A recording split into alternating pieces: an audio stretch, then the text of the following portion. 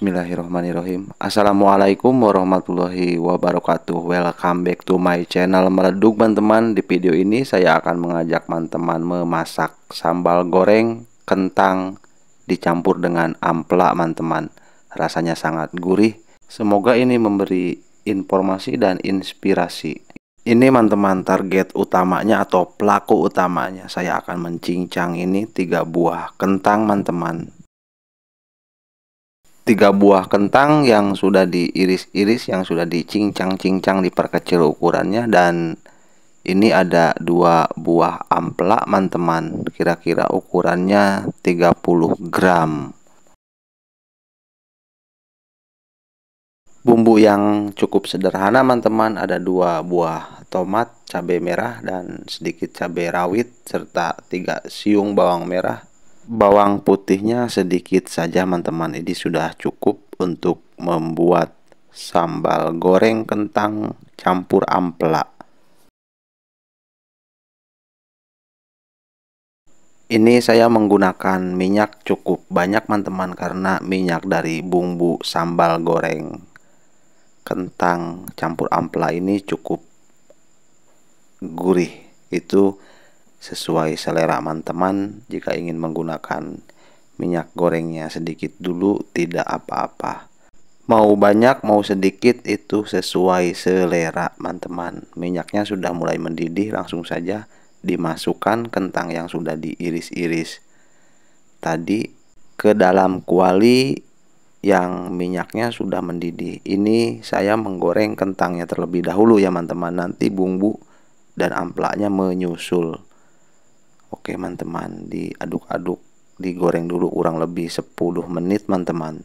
Agar matangnya merata dan kentangnya empuk teman-teman. Ini sudah mulai matang langsung saja diangkat terlebih dahulu untuk ditiriskan ini kentangnya.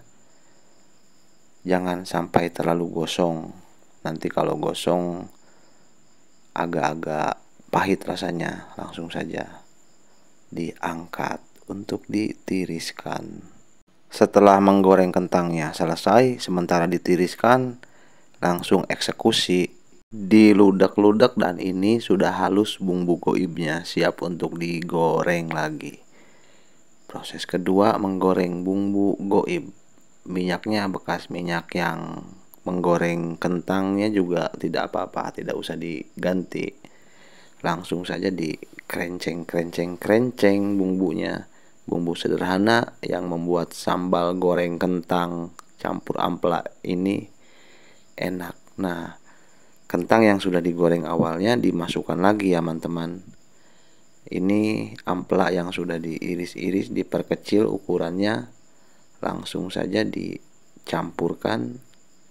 Tidak perlu menunggu waktu lama pada saat bumbu dimasukkan, kentang yang sudah digoreng awalnya pun langsung saja dimasukkan serta ampelanya. Diaduk-aduk teman-teman, digocek-gocek menunggu kurang lebih 10 menit agar matang. Oke teman-teman, ini sedikit lagi akan saya angkat ini menandakan sudah hampir matang.